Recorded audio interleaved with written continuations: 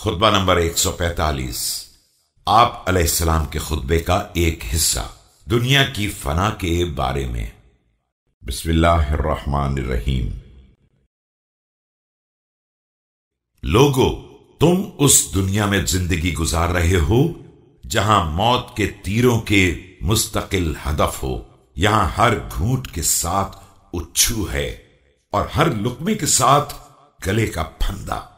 یہاں کوئی نعمت اس وقت تک نہیں ملتی ہے جب تک دوسری ہاتھ سے نکل نہ جائے اور یہاں کی زندگی میں ایک دن کا بھی اضافہ نہیں ہوتا ہے جب تک ایک دن کم نہ ہو جائے۔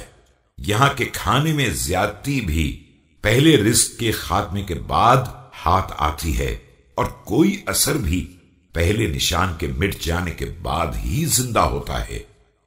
ہر جدید کے لیے ایک جدید کو قدیم بننا پڑتا ہے اور ہر گھاس کے اگنے کے لیے ایک کھیت کو کاٹنا پڑتا ہے۔ پرانے بزرگ جو ہماری اصل تھے گزر گئے۔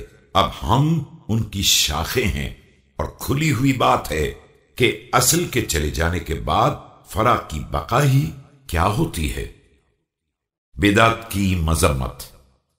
کوئی بدعت اس وقت تک ایجاد نہیں ہوتی ہے۔ جب تک کوئی سنت نہ مر جائے۔